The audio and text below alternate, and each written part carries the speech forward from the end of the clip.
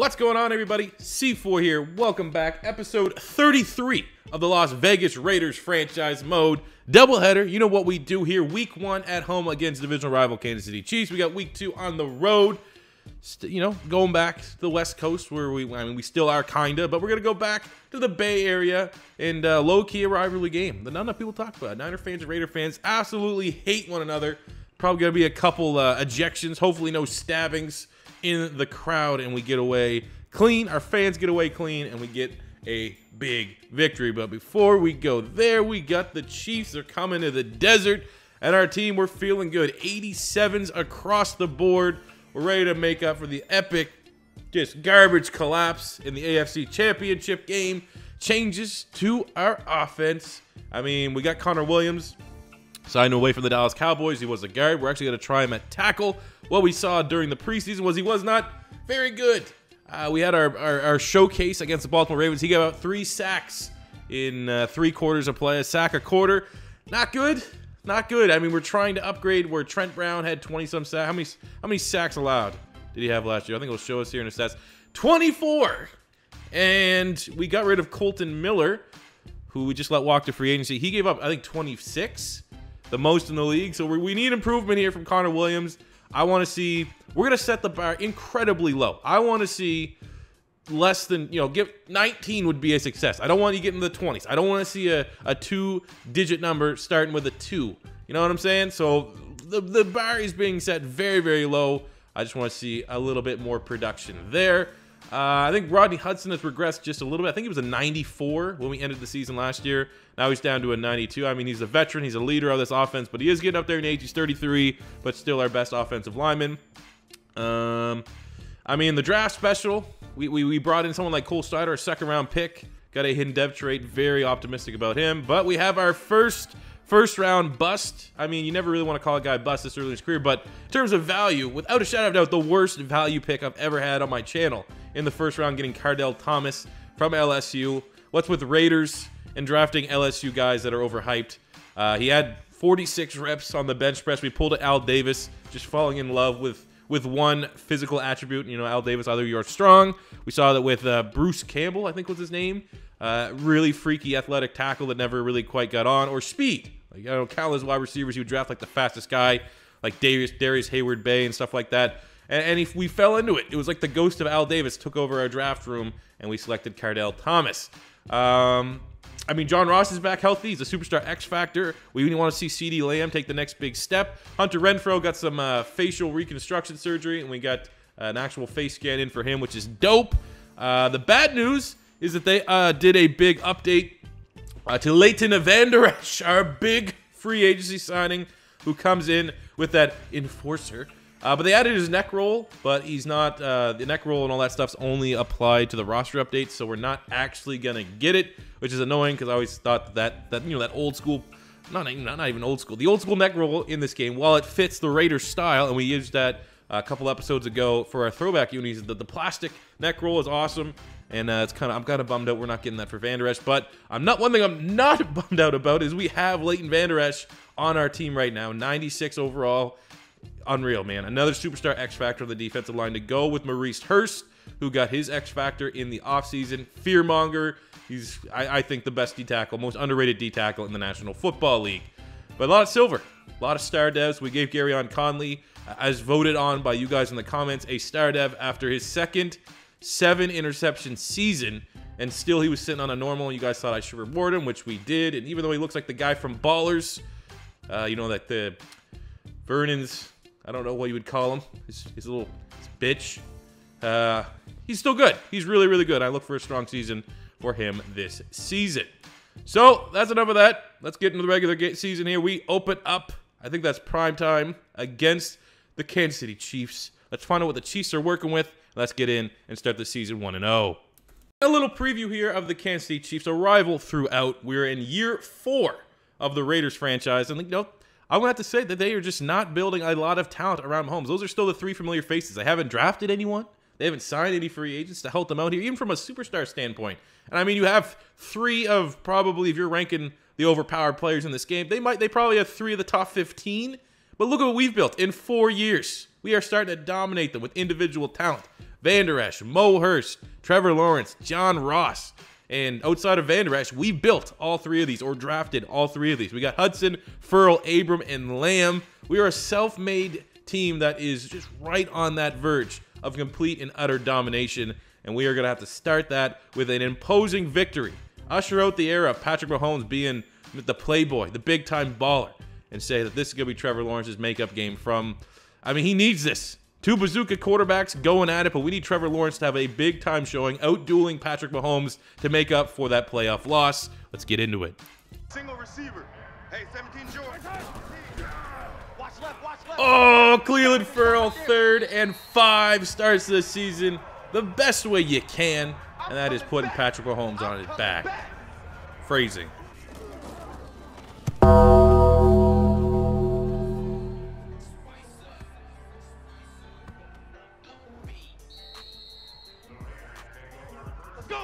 Holy shit. That guy was jacked, and he gets a gong, because it's Headley. That ridiculous punter from the Miami Hurricanes. Give him a gong. Get out of here, baby. Got, for whatever reason, Abram playing D-end. Gotta fine-tune our depth chart. Something must have reset, but look at that. He, might be. We might be playing this game. We might have to make a roster change of having a 220-pound D-end. Oh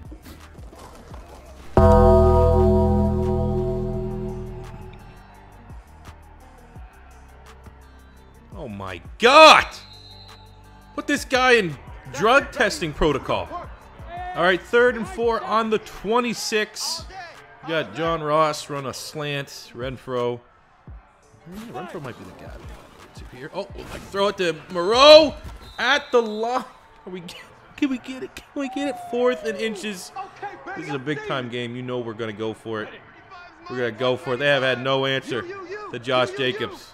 And if we could pick up 31, which we didn't. All right, we need a big time stop. Third and seven. Come on. Get some pressure. Mo Hurst, come on. Hey, got pressure. We didn't get the sack. We got the pressure. Whole new field goal attempt. Really boring first half.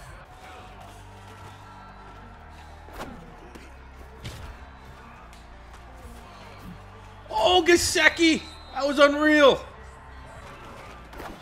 Oh, you complete that? That's on. Mm. Oh my God, he dropped it. You have got to bring that down, CeeDee Lamb. What did AB? Did he teach you nothing as your mentor?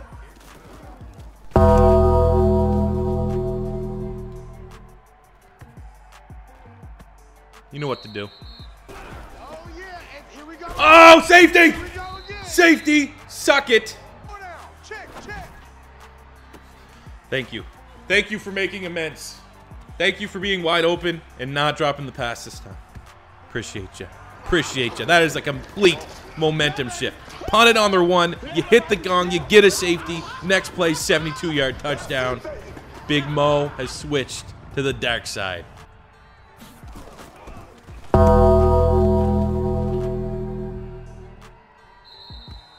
What the fuck?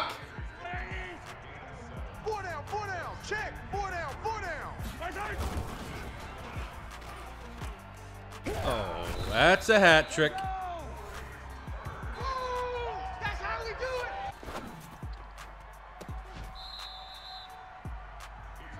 Beauty. Third and six in the red zone on the nine. Kind of like CeeDee Lamb, to be honest with you here, as the as the the best route. Oh no, he got covered up. Nothing there, and we eat a sack. Oh. All right, we got we got a game here to close it out. Kelce, nice touch. I mean, just bad defense. We went all out blitz. They called it. Oh, Gareon Conley playing a little nickel, little slot corner right now. Gets the sack. Let's keep the blitz up. Let's overload him. Oh, bad throw from Mahomes. Fourth down. Game is on the line. Fourth and a mile. I mean, we've been aggressive all day. We've been aggressive all day. Mo Hurst has been feeding. Push him back. This is gonna work. Check the backer, check the backer.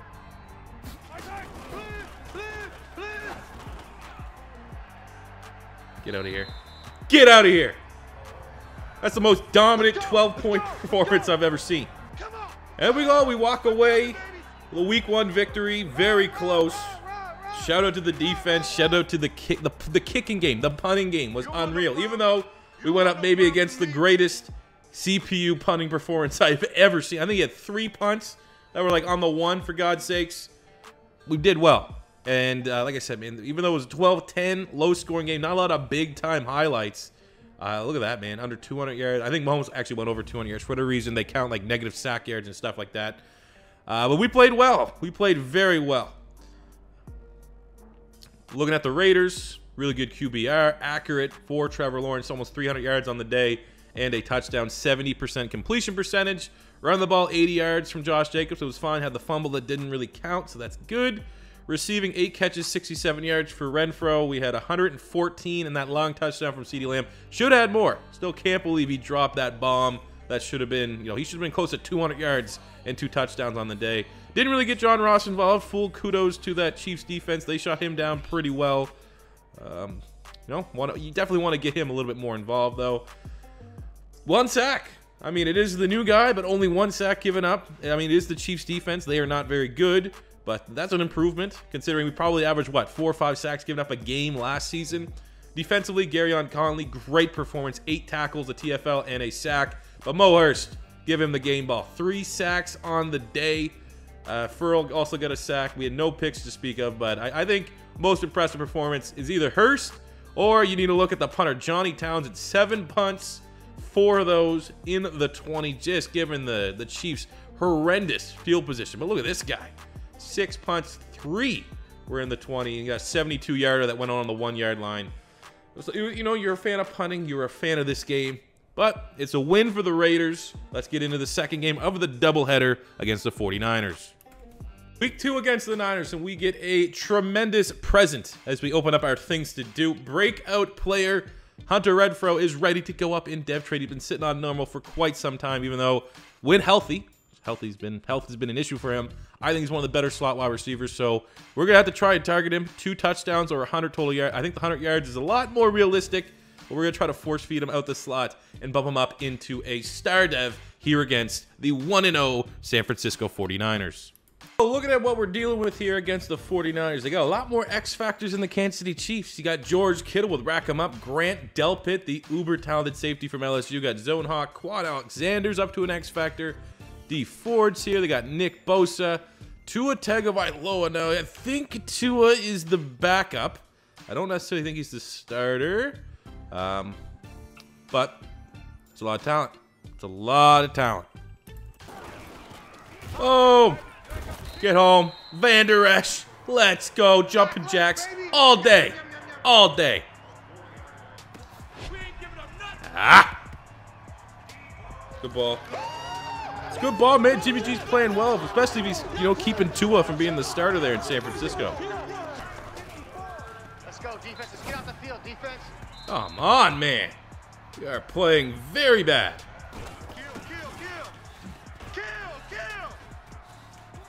Oh, Josh Jacobs. Oh, he's just not fast. He's just not fast, but that was huge. My.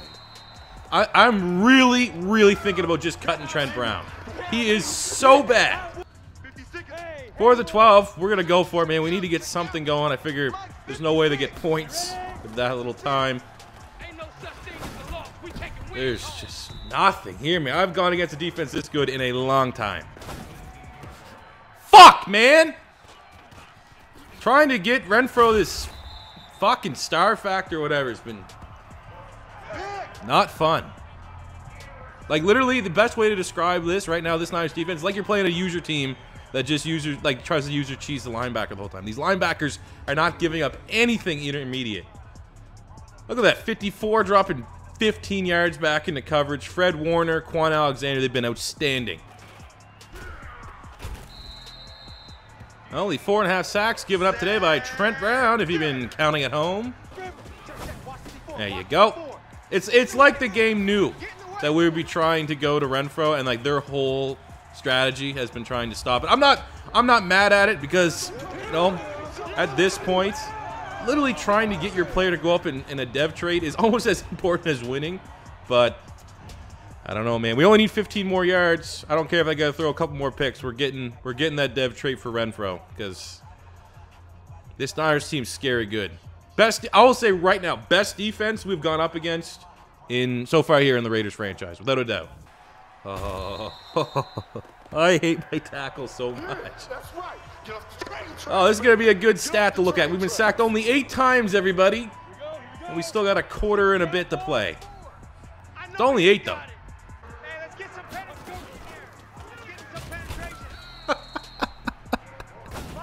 There we go. We only needed four more yards for the Renfrow. There's the 100. There's the dev trait increase. And we're only down 24. There we coming back. Probably too little too late, but we're going to try and make a run. CeeDee Lamb gets the touchdown. And we pull back just a little bit. Watch the screen, watch the screen, watch the screen. Scary's uh, oh, sorry, is that Patrick Willis and NaVorro Bowman? Like I like I'm I'm getting even garbage animations, man. There's nothing I can do. I'm playing bad and I'm getting worse animations.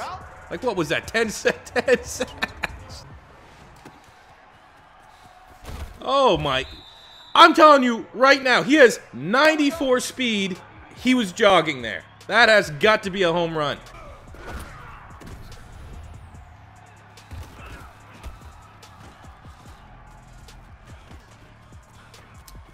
There's no scripting in Madden.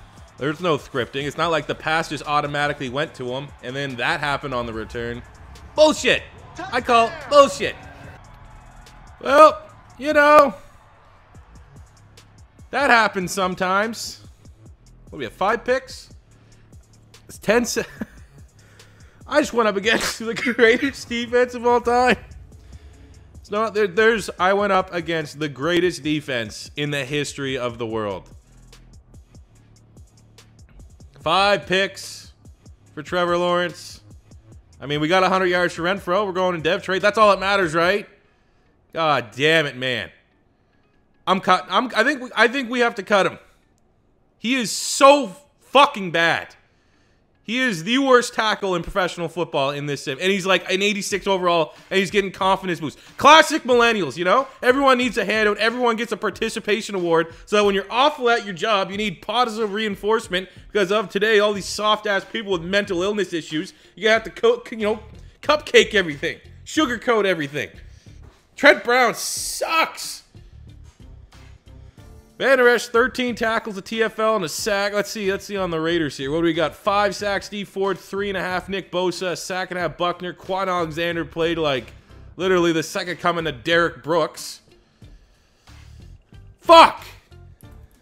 Literally the only thing that matters about the episode, I mean, we got the dev trait. Uh, no. We're so bad. Well, it's the way she goes. The way she goes. Sometimes you get 33 episodes in, and um, every game's fairly good. And then other times, a Madden update comes halfway through the episode. Yes, there was an update between the first game and the second game. Not going to say anything. And you get cheesed and you play bad and you go up against the greatest defense in the history of all time. So, I mean, I don't know, people. I honestly think I'm going to give him one more episode in Trent Brown. If not, I'm cutting his ass. 84 overall. Yet he's given up 40 sacks in the last three years. And not only that, to top it all off, look how much he's getting paid. To top it all off, he's our second highest paid. We get $15 million in savings. He is, oh, he is god awful. I mean, who would we, who would play instead of? Could just, no we have like a solid depth anywhere? Like we could go with the Snyder. We can get Snyder some reps. Jon Runyan, like his dad, we could slide him out the right tackle. But Trent Brown, oh, you are so bad. So let me know what we should do about Trent Brown in the comment section below. Catch you guys back on another one. Subscribe, smash that like button. 2,000 likes We'll make you all beautiful, beautiful people in my eyes. And I'll catch you on the next one. Peace out. Money I'm spending, I'm out and I'm shopping. You talking that shit when you talking and talking. Look at my options, look at me dropping. Asking the game like, who are you stopping? Not me, not me, not never. Not me, not me, not never. Not me, not me, not never. I'm way too clever.